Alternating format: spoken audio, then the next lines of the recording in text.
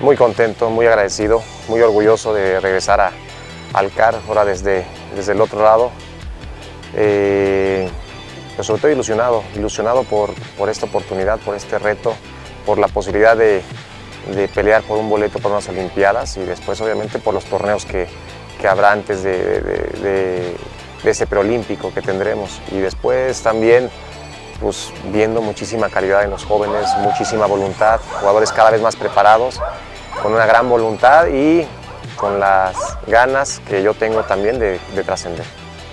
Soy muy tranquilo hasta el momento que, que, justo, hasta el día de que va a pasar la, la situación, pues ahí empieza a entrar un poquito el nervio, ¿no? Estuve muy tranquilo hasta el domingo, dije, ay, ya viene, ya viene, entonces ahí me empezó a entrar un poquito el nervio normal, ¿no? La emoción de estar nuevamente aquí, pero, pero hoy el partido estaba con una tranquilidad, una seguridad, una energía de, que sabía que nos iba a ir muy bien, sabía que íbamos a jugar muy bien.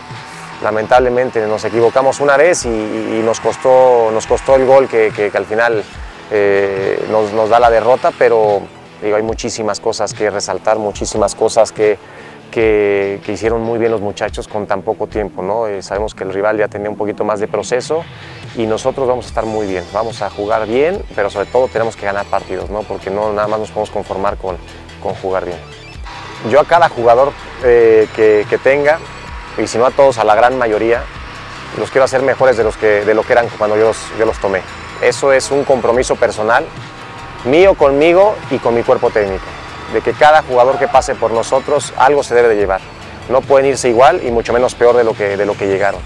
Eso para mí es lo más importante, ¿no? Ayudarles, siempre he dicho, me hice técnico para ayudar a los jugadores a cumplir sus sueños y, estoy seguro que este es uno de, esos y, seguramente tendrán muchos más.